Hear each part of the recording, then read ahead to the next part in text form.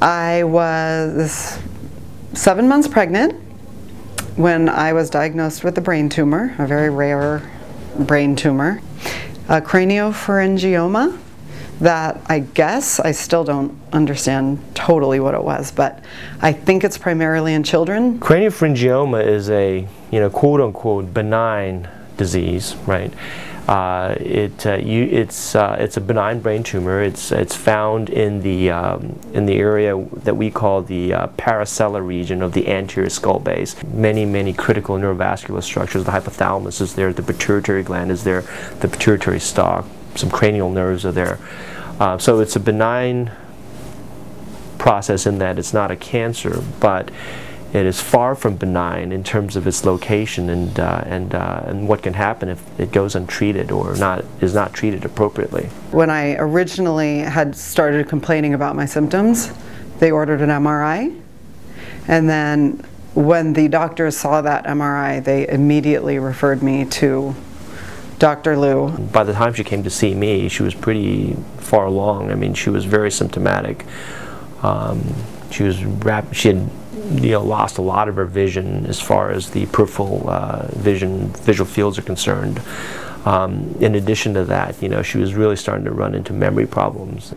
Basically, Dr. Liu and my OB had to work together to come up with a time that worked for both of them. What's the safest time this baby can come out where my vision wouldn't be compromised. What I told her was, look, you know, let's get you through the pregnancy, right? We'll monitor you very carefully in terms of how you're doing, how your vision is doing, and how your hormone levels were doing because, you know, one of the things that this affects is the hormones, and you kind of need those when you're pregnant, right?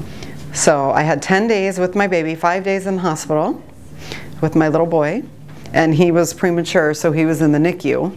And then I came home and had five days at home with the baby.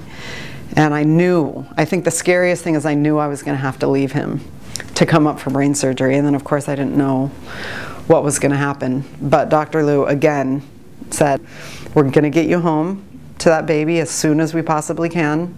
You're doing the right thing. And it just I needed that reassurance all along. So listen, you know, we've got we've got some uh, some priorities here, and, and here they are in this order. You know, number one, right? I want to you to come out alive right?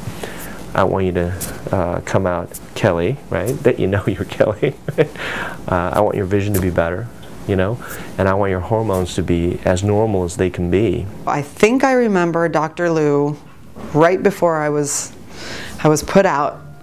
I think I remember him saying, well, I, I asked him, okay, so when I wake up, it's going to be over, right? And he said, yes. And the next thing I knew, I saw his face again when I woke up. It must have been six hours later. And he said, Hi, everything went great.